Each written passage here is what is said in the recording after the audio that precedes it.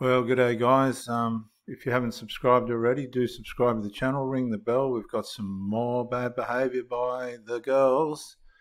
Um, let's have a look at what we've got this time. Uh, Ex Wichita Falls woman arrested in fatal drunk driving wreck. And there's a picture of it. Let's have a look. My goodness. Drunk. Look at this over here. We've got debris here. Oh, it's a crash site. Goodness.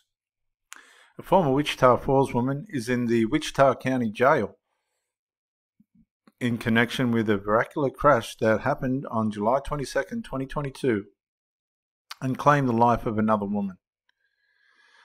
Allison Fabins is charged with intoxicated manslaughter with a vehicle and intoxicated assault with a vehicle. She was arrested and jailed Monday in lieu of a total of $75,000 bail. Natalie Jo Brown, 58 of Wichita Falls, died from multiple injuries and received in the pin in wreck.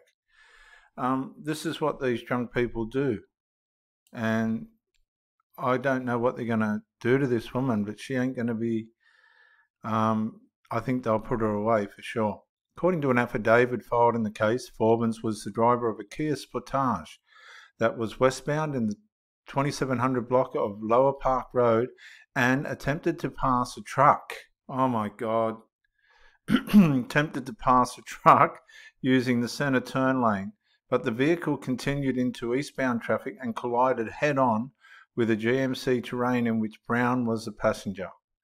The driver of the terrain was also injured but survived. Brown died from her injuries on August the 4th, 2022, and our prayers go out to her family. And this is the thing, so you can't bring these people back. You can't you can't change what's happened. Forbins told investigators she could not remember what happened. Now remember when we and we're still doing it, um, the suitcase suffocator thing that we're doing. She denied, she lied, she couldn't remember, blah, blah, blah. It was all lies. Well, she told investigators she could not remember what happened at the time of the wreck, but admitted to drinking alcohol that day. According to the affidavit, a blood test revealed she had a high level of alcohol in her system. Well, that ain't going to bring Mrs. Brown back, is it? Forbins currently lists an address in Arlington, Texas, according to jail records.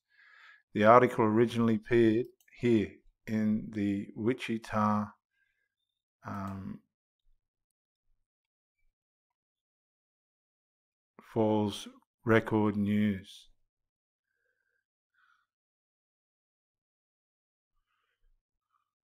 And there we go again. Terrible, terrible story. Okay, guys, we'll um, wrap it up there. If you haven't already, subscribe to the channel, ring the bell. Um, just be mindful of what women are capable of. I'm not against women. I appreciate them very much, but we must also be aware that they are capable of very dangerous behavior.